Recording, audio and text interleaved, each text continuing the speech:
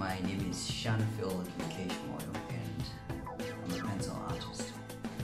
I was born in uh, Bulawayo, Zimbabwe and uh, I do art for a living. And uh, behind me are a few of my art books. this is a record that I'm currently working on. Trevor Noah, Oprah Winfrey.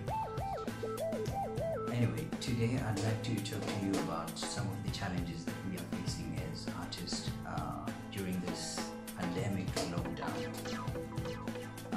first and major challenge that I can mention is that um, as artists, we normally depend on uh, art fairs, art exhibitions, where we are able to sell our artworks to clients, different clients, hotels, art collectors, etc. So, however, with this lockdown where everybody is locked inside, uh, our potential clients,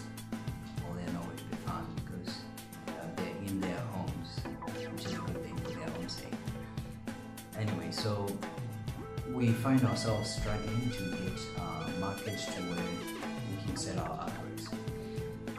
Uh, one of the other challenges that I can mention is that uh, uh, a few of my art friends, I've heard them say they've run out of material to use, uh, whether it's painting, pencil artwork, or whatever kind of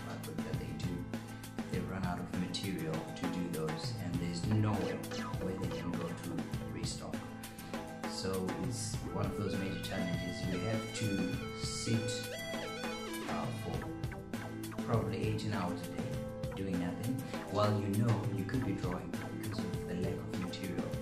Uh, for an artist, it's really a painful thing. However, we can't talk about uh, the challenges without mentioning some of the positive uh, positives that have come out of this. And one of those, particularly for me, that I've noticed is that because many people are spending time with their gadgets than ever before, that means many people are spending more time online Twitter, Facebook, Instagram, uh, social media. So that means that if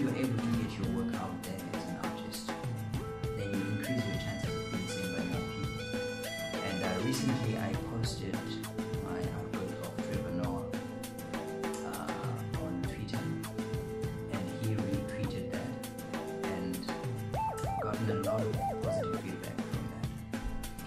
So my advice to other artists out there, whatever kind of art that you are doing, be drawing, painting, uh, even musicians, it's an opportunity. Might I say a rare